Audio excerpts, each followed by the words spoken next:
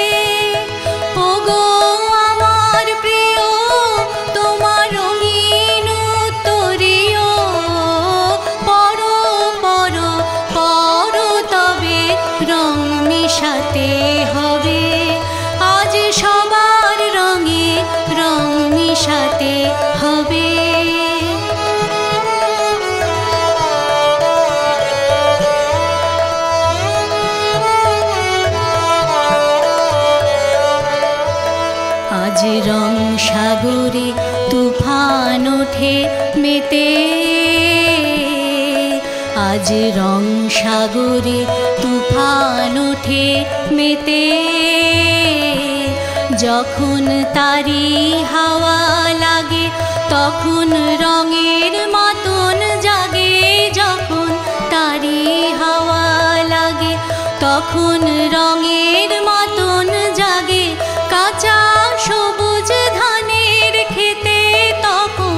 রঙের মাঝে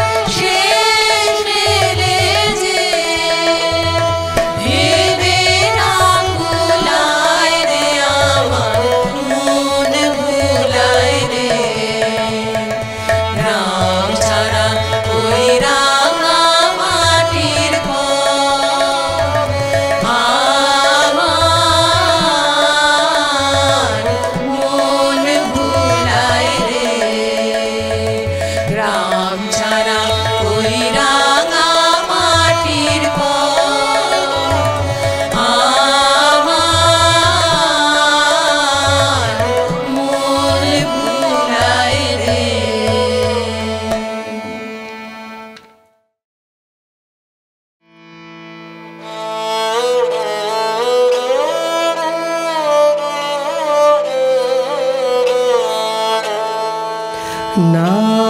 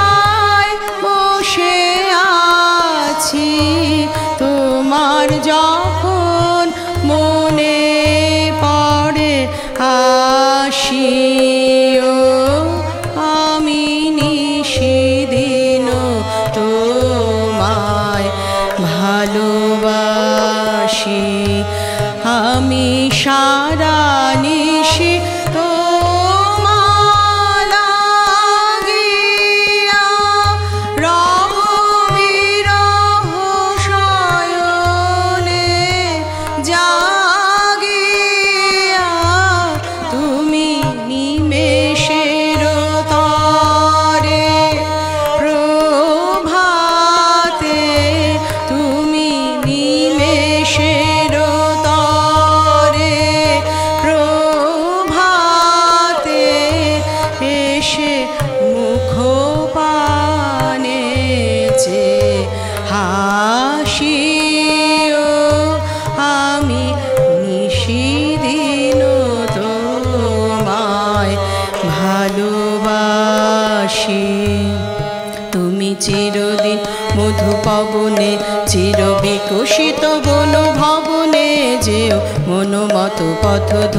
দয়া তুমি চিরদিন মধু ভবনে চির বিকশিত বন ভবনে যেও মত পত ধরিয়া, তুমি নিজ সুখ স্রোতে